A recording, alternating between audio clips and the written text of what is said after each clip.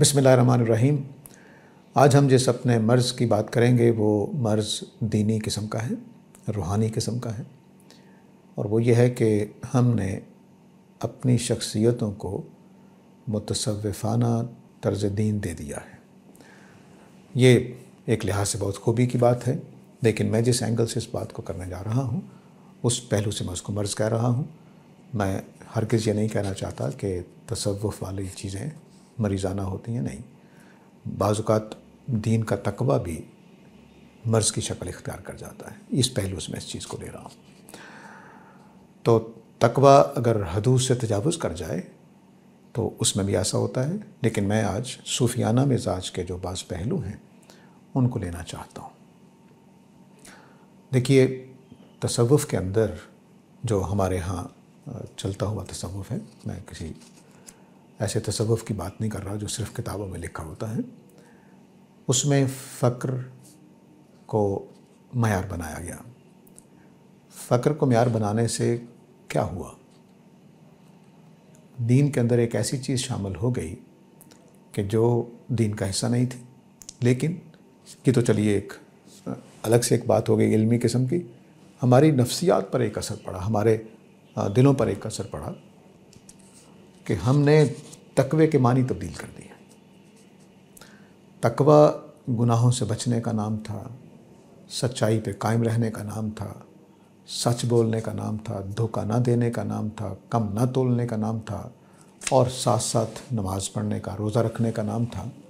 लेकिन तसव्वुफ़ की इस ताबीर से तकवे का नाम पड़ गया कि तर्क दुनिया दुनिया को छोड़ देना या दुनिया की चीज़ों को अहमियत ना देना। जिसका नतीजा ये निकला कि हम तकवे के मानी तब्दील करने से हमारी शख्सियतों में दूसरी चीज़ें पैदा होनी शुरू हो गई, तकवा पैदा नहीं हो रहा।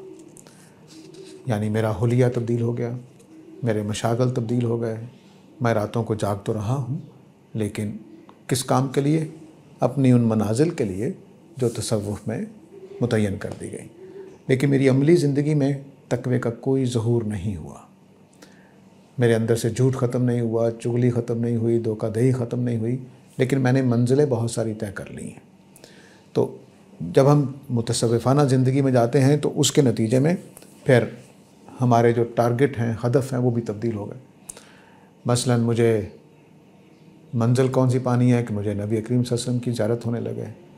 मैं फनाफि शेख हो जाऊँ फनाफिर रसूल हो जाऊँ। लेकिन इसने हमारे अंदर एक समझ लीजिए कि एक और तरह की दौड़ लगा दी तो मैदान जंग में खड़े होना कारोबार के मैदान में खड़े होकर मुत्तकी होना आ, किसी घरेलू या समाजी मसले में झगड़े की सूरत में तकवे पर खड़े होना ये हमारी ज़िंदगियों से निकल गया। चुनाचे मैंने बड़े बड़े नमाजियों को देखा है कि वो बड़े बड़े मुत्तकी लोगों को देखा है जो मुतसफ़ाना रंग के मुत्तकी होते हैं। कि दूसरों की लेग पुलिंग कोई मसला नहीं। दूसरों के ऊपर कीचड़ उछालना कोई मसला नहीं। मुतसफ़ाना तकवे की वजह से हमारी जो ज़िंदगी गुजारने का पूरा पैटर्न तब्दील हुआ।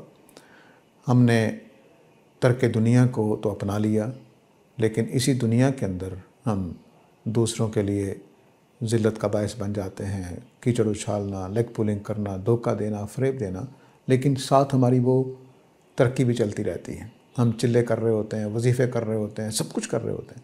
लेकिन साथ साथ एक मतकबराना शख्सियत वजूद में आ रही होती है। दूसरों के लिए कोई उसमें अपनाइत नहीं होती वह सबको हकीर समझ रहा होता है। ये सारी चीज़ें साथ साथ चल रही होती चुनाचे आप हैरत अंगेज़ तरीके से ये चीज़ सामने आती है कि आज ढूंढे से नफीस किस्म के सूफ़ी नहीं मिलते हैं। ढूंढे से नहीं मिलते हैं। क्यों?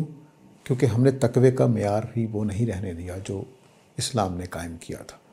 पहले जो कदीम सूफिया थे, वो गालबन दोनों चीज़ों को इकट्ठा कर लेते थे कि जो ये तकवा है, जो इस्लाम सिखाता है, वो भी और तरीक़त वाली चीज़ें भी और तसव्वुफ़ वाली चीज़ें भी इख्तियार कर लेता था।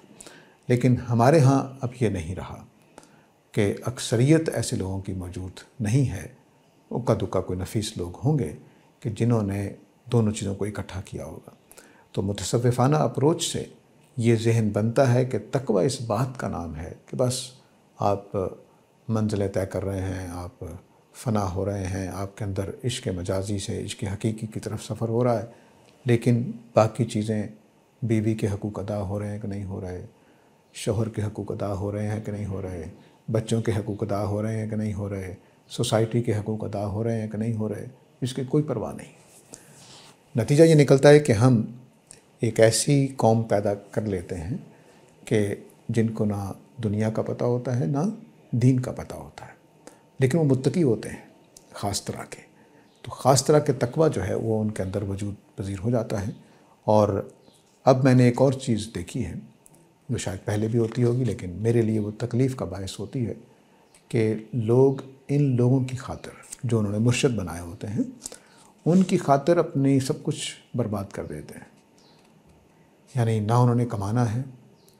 बस पीर साहब ने कह दिया है कि मेरी खिदमत किया करो, वो कर रहा है। और एक मेरी ज़िंदगी में एक ऐसा वाक़ है कि एक पीर साहब ने, एक साहब जो किसी तहरीक में हिस्सा थे तो वो तहरीक वाले उनको दस पंद्रह हज़ार, बीस हज़ार रुपये तनख्वाह दे रहे थे और वो क्वालिफाइड आदमी थे। उनको किसी यूनिवर्सिटी में जॉब की ऑफ़र हुई, साठ सत्तर हज़ार रुपये महीना। पंद्रह बीस हज़ार रुपये महीना और वहाँ साठ सत्तर हज़ार रुपये उन्होंने जाकर उन पीर साहब से कहा कि मैं क्या करूँ? अपनी तहरीक छोड़ूँ और यूनिवर्सिटी में चला जाऊँ कि ना जाऊँ? अब उन पीर साहब ने देखिए जवाब क्या दिया आपको हैरत होगी। उन्होंने कहा कि नहीं, तुम तहरीक के साथ ही वाबस्ता रहो, क्योंकि तुम्हारी तहरीक वाले लोग ये ना कहें कि देखो, इस शख्स ने अपने मुरीद को वहाँ लगवा दिया और हमारी तहरीक से निकाल दिया। मेरे लिए नाकबिल फ़हम है कि पीर साहब की ज़ात इतनी नाजुक है कि मुरीद की ज़िंदगी बर्बाद होती रहे, लेकिन पीर साहब की ज़ात पे हरफ ना आए। ना उन्होंने मुरीद के बच्चों का ख्याल किया, ना मुरीद की इनकम का ख्याल किया। हालाँकि सादा सी बात थी कि तुम चले जाओ, मगर तहरीक का, मगर तहरीक का साथ ना छोड़ना, तहरीक के खिदमत करते रहना, ताकि तुम पर कोई इल्ज़ाम ना आए कि तुम दुनियादारी की खातर वहाँ चले गए हो। तो बहरल जो कुछ भी है, अब वो मुरीद ने, जो कि सीखा ये है कि मंजिलें, सलूक की ये हैं, कोई बात नहीं, तरक दुनिया है, कर देते हैं। लेकिन जो बच्चों का हक है, जो बीवी का हक है, और वो एक आदमी कमा के दे सकता है, लेकिन वो उसको पूरा करने को तैयार नहीं है, क्योंकि पीर साहब ने कह दिया। तो यहाँ पर जो रास्ते हैं हाँ एक कुछ लोग ऐसे होते हैं कि जो ख़ुद अपनी ज़ात की वजह से किसी मिशन में लगे होते हैं। उनको भी ये इकदाम करते हुए अपने बीवी बच्चों, अपने वालदेन से इजाज़त देनी है। नबी करीम वसल्लम कभी भी जिहाद पर नहीं ले जाते थे जब तक कि अपने माँ बाप से इजाज़त लेकर ना आए हों। जो छोटे लोग होते थे, उम्र के लिहाज से, जो इंडिपेंडेंट हैं, उनकी बात अलग होती थी। लेकिन आप पूछते थे, तुम्हारी माँ की खिदमत तो तुम्हारे ऊपर नहीं आयद हो रही? तो जाकर अपनी माँ की खिदमत करो। क्योंकि जो चीज़ें ये मिशन की होती हैं, इस, ये खुद इख्तियारी होती हैं। मैं इख्तियार कर रहा होता हूँ कि मैं मसला मौरत की तहरीक में हिस्सा लूँ कि ना लूँ। लेकिन मेरी माँ को खुदा ने पैदा किया है। वो पैदाइशी तौर पर मेरी ज़िम्मेदारी है। उससे मैं भाग नहीं सकता। इसी तरह मेरे बीवी जिसे मैंने शादी कर ली है अगरचे मैंने अपने इख्तियार से किया, लेकिन बीवी के हकूक़ अल्लाह ने पहले से बयान कर दिए हुए हैं। मैं उनसे भाग नहीं सकता।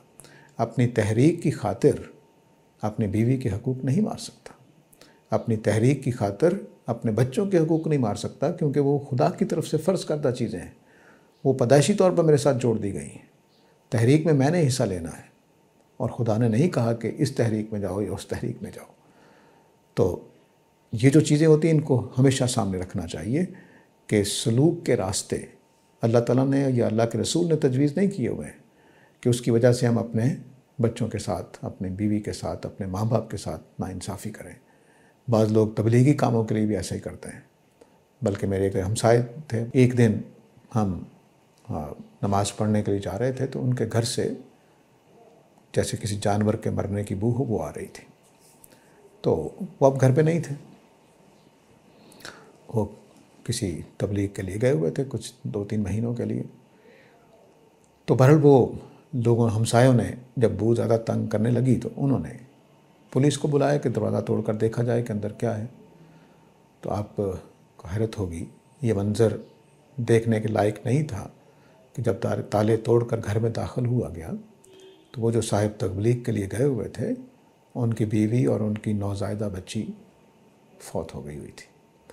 यानी उनकी बीवी के वहाँ औलाद होने वाली थी और वो उसको लेकर वो चले गए तबलीग पे और ये कह कर गए होंगे, जैसा कि उनका जुमला होता है कि अल्लाह ताला देखने वाला है, मैं उसके काम पे जा रहा हूँ। चनाचे क्या हुआ कि जब उनकी औलाद होने वाली हुई, विलादत का वक्त हुआ तो उनको हस्पताल ले जाने वाला कोई नहीं था। और वो इसी विलादत के दौरान कहीं फौत हो गई और जो बच्ची पैदा हुई, वो भी फौत हो गई। तो दोनों की गली सड़ी लाशें उस घर से निकाली गई। ये तकवे का मैार हमारे यहाँ इस वजह से पैदा होता है। ये तकवा नहीं है। ये हमेशा याद रखिए कि जो चीज़ें पैदाइशी हैं, जबिल्ली हैं, फितरी हैं, उनका हक पहले है। उनका हक बाद में नहीं है। बाकी जितने आपके मिशन हैं, उनका हक बाद में है। तो आपने अगर मिशन पूरा करना है तो बच्चों की जिम्मेदारियाँ अदा करके या फिर शादी ना करें, बस छोड़ दें। अल्लाह अल्लाह खैर सल्ला। लेकिन जो जिम्मेदारियाँ आपके ऊपर आती हैं, उनको अदा करना है। उस हद तक जितना आप कर सकते हैं। ये मैं नहीं कह रहा कि आप किसी अमीर ज़ादे की तरह उन चीज़ों को पूरा करना शुरू कर दें, ऐसा नहीं है। बस आप जो बुनियादी ज़िम्मेदारी हैं, उनके सेहत, उनकी तालीम, उनके खाने पीने का जो इंतज़ाम है, वो आपके ऊपर लाजम है। तो तकवे का ये जो मैं पहलू बयान कर रहा हूँ, ये हमने हिंदुस्तान से सीखा है और गौतम बुद्ध से आया है। गौतम बुद्ध का कमाल यही था कि वो अपनी सरदारी बादशाह छोड़कर चला गया था और उसने ज्ञान हासिल किया था। तो इसलिए अब हमारे लिए भी वही मंजिल है। हमारे लिए मंजिल नबी करीम वसल्लम का उसवा नहीं है कि जिसमें उन्होंने शादियाँ भी की हैं, उन्होंने घर के देखभाल भी की है, उन्होंने अपने दोस्तों के साथ भी ज़िंदगी गुजारी है, जिन्होंने एक शानदार रहनुमा के तौर पर ज़िंदगी गुजारी है और साथ अपना मिशन भी पूरा किया है। हमारे लिए उस वक्त उनकी ज़ात होनी चाहिए। तो तकवे का ये जो पहलू है कि हमने फ़क्र को या एक ख़ास तरह के मनाजिल को, सलूक को तकवे का मैार करार दे दिया है। ये कहीं भी मौजूद नहीं है कुरान और सुन्नत में। तकवा इस बात का नाम है कि हम अपनी शख्सियत की तामीर करें। इस तरह से कि हम नेकी करने वाले हों, बुराइयों से बचने वाले हों, हकूक़ अदा करने वाले हों, हकूक़ पामाल करने वाले ना हों, और मैं इसकी एक मिसाल दिया करता हूँ कि वो आदमी ज़्यादा बड़ा मुत्तकी है। वो आदमी ज़्यादा बड़ा मुत्तकी है। उसके मुकाबले में जिसने सारे सलूक की मंजिलें तय कर ली हों, उसके मुकाबले में वो शख्स बड़ा वली है, बड़ी मंजिल पे खड़ा है, जो घर में बच्चे भूखे हैं और एक रुपया भी हराम कमाने को तैयार नहीं है। खुदा खौफी की वजह से ये आदमी बड़ा मुत्तकी है। जिसके अपने पेट फाके से चिपका हुआ है और वो एक रुपया भी हराम का खाने को तैयार नहीं है। ये शख्स बड़ा मुत्तकी है, क्योंकि ये मैदान जंग में खड़ा है, खुदा की खातिर भूख बर्दाश्त कर रहा है और बेईमानी करने को तैयार नहीं है। तो ये तकवे का मैार कि मैं सब कुछ हराम हलाल खाता चला जाऊँ और मंजिल बस सलूक की तय करता चला जाऊँ, ये कोई तकवा नहीं है। और जो अल्लाह ने हकूक़ कायम कर रखे हैं, उनको छोड़कर अपने किसी मकसद के लिए निकल जाऊँ, ये कोई तकवा नहीं है। तकवा यही है कि जिस मैदान में, जिस मोर्चे में अल्लाह ताला ने पैदा कर दिया है, उस मोर्चे में बैठे हुए अपनी जिम्मेदारियाँ अदा करनी है। मुझे मोर्चे से याद आया कि जब अफ़गानिस्तान में जहाद हो रहा था तो मैं मौलाना इसलाही के पास गया कि मैं जहाद पे जाना चाहता हूँ तो मुझे जाना चाहिए। तो उन्होंने कहा कि नहीं, तुम्हें अल्लाह ने जिस मोर्चे पर पैदा किया है, उसी मोर्चे में बैठो। मैंने उनकी बात नहीं मानी और जहाद के लिए चला गया। चला गया तो मैं उस ग्रुप का नाम नहीं ले रहा, जिस ग्रुप की तरफ़ से जा रहे थे। उन्होंने सिर्फ़ इस वजह से नहीं जाने दिया कि मैं जावेद अहमद गांधी साहब का शागिर्द हूँ। तो इसलिए ये जो हमारी पूरे तकबे का ये जो तस्वुर है इसके लिहाज से हमारी जस्तजुएँ बदल जाती हैं, हमारी पूरी ज़िंदगी बदल जाती है, पूरा ज़िंदगी का तस्वुर बदल जाता है, रूहानियत का तस्वुर बदल जाता है। रूहानियत ये होती है कि मैं कुछ फ़रिश्तों से मुलाकातें हो रही हैं मलायाला की सैरें हो रही हैं, लेकिन नीचे ज़मीन पे जो उनके फ़राइज़ होते हैं, वो उनसे भाग रहे होते हैं। तो इसलिए ज़रूरी है कि हम अपने तकबे को कुरान सुन्नत के मुताबिक करें और जो जिम्मेदारियाँ अल्लाह ने हम पर आयद की हैं, जिस मोर्चे पे उसने हमें बैठाया है पहले उस मोर्चे के फ़राज अदा करें, फिर बाकी चीज़ें जो हैं उनको हम अपनी ज़िंदगी में जितना मुमकिन हो उतना इख्तियार कर सकते हैं। इसके साथ इजाज़त चाहता हूँ। आखिर तमाना अलहमदिल्ला